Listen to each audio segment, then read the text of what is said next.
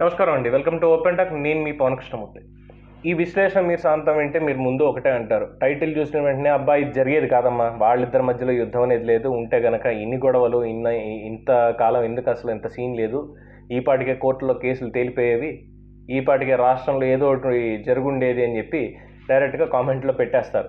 సరే ముందు అసలు ఏ ఏ పాయింట్లు ఉన్నాయి ఏంటి అనేది ఒక్కసారి చూసుకుంటే అసలు యుద్ధం అనివార్యం అవుతుందా? లేదు ప్రజల్లో ఏమైనా ఇంకా మార్పు రావడం కోసం వీళ్ళ మీద ఇంకా కాస్త పాజిటివ్ పెరగడం కూడా చే- కోసం చేస్తున్నారా అనేది మనకి స్పష్టం అవుతుంది సో ఇప్పుడు ఇప్పుడున్నటువంటి పరిస్థితుల్లో ఆంధ్రప్రదేశ్ రాష్ట్రంలో వైకాపా సర్కార్ కఠినమైనటువంటి నిర్ణయాలు తీసుకోబోతుందా అనేది ఒక ప్రశ్న ఎదురవుతోంది.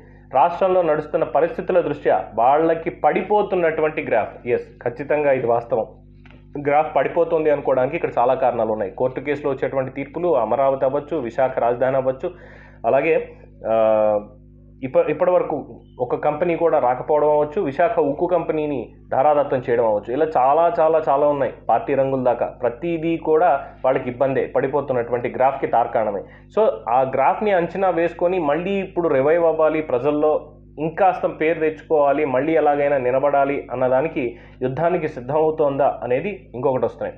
సో వైకాపా పార్టీ వర్గాలు ఏమంటున్నాయని చూసినప్పుడు సరే వాళ్ళ వ్యక్తిగత అభిప్రాయాల్ని పక్కన పెట్టేసి ప్రభుత్వము అలాగే పార్టీ అధినాయకత్వం చేసినటువంటి మాటలు వీటి వీటితో చూసుకున్నప్పుడు ఎస్ ఖచ్చితంగా బీజేపీ తోటి యుద్ధానికి సిద్ధపడుతున్నాయి కేంద్రంతో అనేది సన్నిహిత వర్గాల నుంచి వస్తున్నటువంటి ఒక సమాచారం.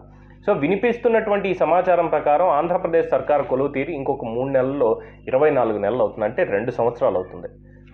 ఈ క్రమంలో ఇప్పుడు రాష్ట్ర పంచాయతీ లెక్కల ప్రకారం ఎదురుగాలి వీస్తున్నటువంటి తరుణంలో సరిదిద్దుకునే ప్రయత్నాలు ఇప్పుడు ప్రారంభించారు అనేది ఇక్కడ స్పష్టమవుతుంది. అందుకని చెప్పే బీజేపీ వాళ్ళతోటి యుద్ధానికి యుద్ధానికి సిద్ధమవుతున్నారు అనేది.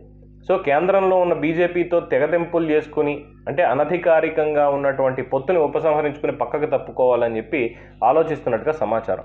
కారణాలు ఏంటి? బీజేపీ బీజేపీ మీద రాష్ట్రంలో ఉన్నటువంటి వ్యతిరేకత వైఎస్ఆర్సీపీ మీదకి టర్నౌట్ కాకముందే.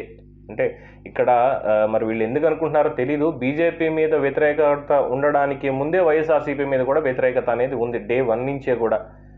ఆయన పాలన ప్రారంభమైందే కూల్చివేతలతోటి అన్న విషయం ఇక్కడ మర్చిపోకూడదు. ప్రజావేదికను కూల్చిన దగ్గర నుంచి ఇప్పటి వరకు జరిగినటువంటి అన్నీ కూడా గుర్తుపెట్టుకున్నప్పుడు ముందు ఉన్నటువంటి వ్యతిరేకత బీజేపీ మీద కాదు వీళ్ళ మీద. బీజేపీ మీద వ్యతిరేకత ఎప్పుడు రెండు వేల పద్నాలుగు నుంచే ఉంది. రెండు వేల పద్నాలుగులో వచ్చే రెండు వేల పదహారు నుంచి అనుకుందాం పోని. ప్రత్యేక హోదా ఇవ్వలేదు. రైల్వే జోన్ ఇవ్వలేదు. రాష్ట్రానికి ఇవ్వాల్సినటువంటి నిధులు నియామకాలు పూర్తిగా ఇవ్వలేదు. విభజన హామీలు అమలుపరచలేదు. అందుకని చెప్పే అప్పట్లో నాలుగు ఎమ్మెల్యేలైనా ఇచ్చారు. ఈసారి కనీసం ఒక్క ఎమ్మెల్యే కూడా బీజేపీకి ఇవ్వలేదు. బీజేపీని పూర్తిగా భూస్థాపితం చేశారు. నోటా కంటే తక్కువ ఓట్లు వచ్చాయి. సో బీజేపీ మీద ఉన్న వ్యతిరేకత వీళ్ళ మీద టర్న్అవుట్ అవ్వడం అనేది చాలా అసందర్భ వాదన. వీళ్ళ మీద ఉన్న వ్యతిరేకతను తగ్గించుకోవడానికి అంటే బాగుంటుంది. ఇప్పుడు అనుకున్నట్టే సేమ్ ఈ ప్రత్యేక హోదా పోలవరం విషయం అదే క్రమంలో రాష్ట్రానికి రావాల్సిన నిధుల మీద ఇప్పుడు వైఎస్ఆర్సీపీ వాళ్ళు నిద్రలేచి పోరాటం ప్రారంభించాల్సిందే దీని మీద పోరాటం చేయాల్సిందే అనే దాని మీద ఆలోచన చేస్తున్నట్టుగా వైసీపీ వర్గాల నుంచి అందుతున్న సమాచారం.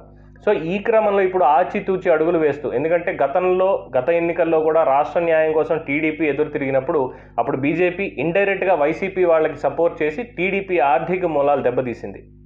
ఏ రకంగా ఏంటి అనేది మనం అందరూ చూసాం. దాని తర్వాత ఎన్నికల సమయంలో టీడీపీకి ఎవరైతే ఆర్థికంగా సపోర్ట్గా నిలుస్తారో వాళ్ళని బెదిరించి ఐటీ రైడ్లు చేసి ఈడీ రైడ్లు చేయించి వాళ్ళని టీడీపీకి ఆర్థికంగా సపోర్ట్ చేయకుండా చేశారు అన్న సంగతి గట్టిగా ఇప్పటికీ వినిపిస్తున్నటువంటి విషయం. అందుకే చాలామంది ఎంపీలు కూడా బీజేపీలో చేరారు అనేది లోగొట్టు పెరుమాళ్ళ కిరక. సో ఈ క్రమంలో పక్కా ప్లాన్ లేకుండా బీజేపీ తోటి మనం పోటీ పడితే బీజేపీ మీద యుద్ధం ప్రకటిస్తే ఇక్కడ ఆర్థిక మూలాలు దెబ్బ కొట్టాలంటే మిగతా నేతలను ఎవరిని టచ్ చేయాల్సిన అవసరం లేదు. డైరెక్ట్గా జగన్మోహన్ రెడ్డి గారిని జైల్లో పెట్టిస్తే సరిపోతుంది. ఆ కేసులన్నీ తిరగతోడి ఉన్నటువంటి వాటిని విచారణ వేగవంతం చేయించి సిబిఐ కేసులు ఈడీ కేసుల్లో ప్రతిరోజు ఇంకా విచారణ జరిపిస్తూ ఆయన కోర్టు కట్టండి అయ్యేలా చేస్తే ఉన్న పరువు పోతుంది. ముఖ్యమంత్రిగా ఆయన తప్పుకోవాల్సి వస్తుంది. బెయిల్ రద్దు చేయించి జైలుకి పంపించే అవకాశం కూడా ఉంటుంది. ఇవి బీజేపీ చేతిలో ఉన్నటువంటి అంటే కేంద్ర ప్రభుత్వం చేతిలో ఉన్నటువంటి అస్త్రాలు. సో ఇప్పుడు ఆచితూచి డైరెక్ట్గా వెళ్తే గనక వైసీపీని నామరూపాలు చేస్తారు అనే భయం కూడా వైసీపీలో ఉంది. కానీ ఇక్కడ ప్రజల మద్దతుతో ఏదైనా చేయొచ్చు. ప్రజలు మనని నమ్ముకున్నారు కాబట్టి ప్రజల్ని మనం నమ్ముకోవాలి. మనకంత మన మనకి ఇప్పటివరకు కూడా ప్రజలే అండగా ఉన్నారు అనుకుంటున్న నూట యాభై ఒక్క సీట్ల మ్యాండేట్ ఇచ్చారు కాబట్టి ఇప్పుడు ప్రజల్ని నమ్ముకుని మనం యుద్ధం చేయాలి అనేది వైసీపీ ఆలోచనగా తెలుస్తోంది. సో ఇప్పుడున్నటువంటి పరిస్థితుల్లో జగన్ అండ్ వాళ్ళ ప్రభుత్వం వాళ్ళ వర్గం వైసీపీ వర్గం అంతా కూడా రాష్ట్రానికి జరగాల్సిన న్యాయం కోసం పోరాడతారా? లేదా మిగిలిన మూడేళ్ళు కూడా ప్రజల్ని ఇక్కడ నమ్మిస్తూ ప్రజల్ని నమ్మిస్తూనే అంటే ప్రత్యేక హోదా వచ్చేస్తుంది అని మేము ప్లీజ్ ప్లీజ్ అంటామని పోలవరానికి పూర్తి స్థాయిలో మేము తీసుకొచ్చేస్తామని లేదు అమరావతిని బిల్డ్ చేసేస్తామని విశాఖను ఉద్ధరించేస్తామని కర్నూలులో కోర్టు పెట్టించేస్తామని నమ్మిస్తూనే వస్తారా? కోర్టు కేసులతోటి మొట్టకాయలు తింటూ లేదు డైరెక్ట్గా యుద్ధం చేస్తారా?